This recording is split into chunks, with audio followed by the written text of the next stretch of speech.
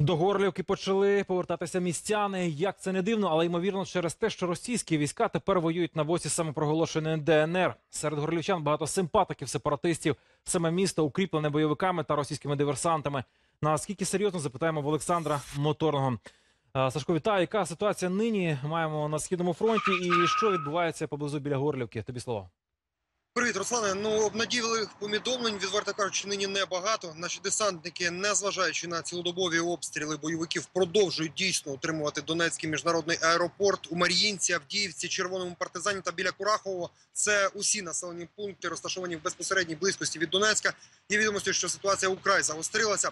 З іншої сторони, майже по всьому фронту від Луганська аж до Новоазовська на півдні бойовики за підтримки регулярних підрозділів е, збройних сил Росії дійсно намагаються просуватися у західному напрямку та чинять тепер просто шалений вогневий тиск на українські позиції. Наші знову таки від майже по всій лінії фронту перегруповуються, відводять підрозділи на більш вигідні для оборони позиції та намагаються при цьому не втратити стратегічно важливі для міцної оборони сектори. Водночас таким собі окремим фрагментом фронту дійсно залишається Горлівка. Місто фактично з трьох сторін оточене українськими військами та підрозділами Нацгвардії, але є дорога, якою бойовики отримують підкріплення аж до важкої техніки. В Горловці є доволі велика кількість е, бронетехніки, техніки. е, Навіть є чотири, якщо по нашим по нашій інформації, чотири системи гради їхніх. Вони інтенсивно працюють, укріпляються. І знову ж таки, ми наскільки я розумію, ми просто їм надаємо час на те, щоб вони укріпились.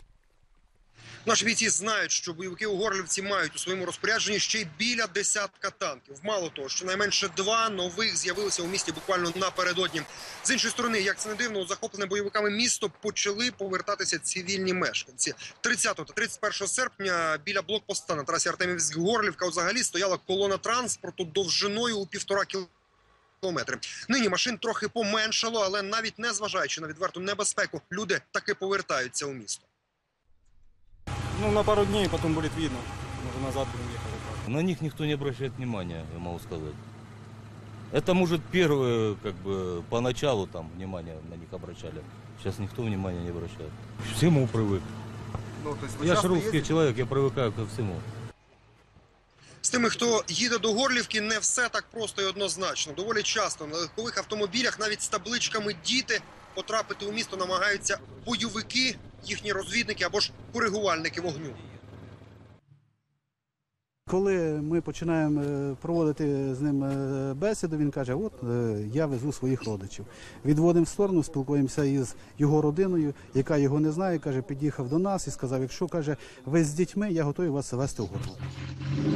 Невеликі групи українських розвідників, які час від часу теж навідуються у Горлівку, водночас стверджують, що з продуктами, водою та і взагалі нормальними атрибутами нормального, так би мовити, життя у місті дуже складна ситуація.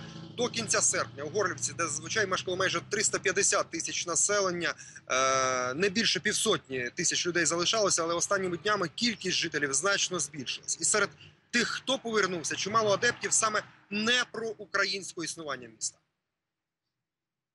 Наши военнослужащие, когда выходят, скажем, на территории Горловки, они помимо боеприпасов, э, личного оружия, снаряжения, э, приносят медикаменты, еду элементарную, воду питьевую.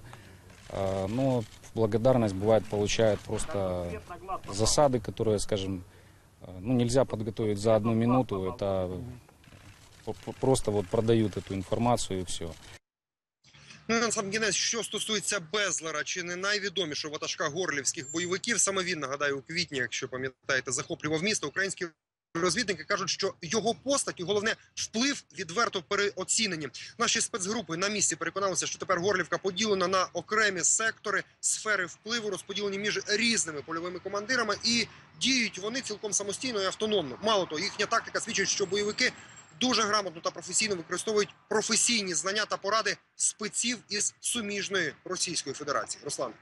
Дякую, Сашку. Олександр Моторний про містян, котрі повертаються до Горлівки.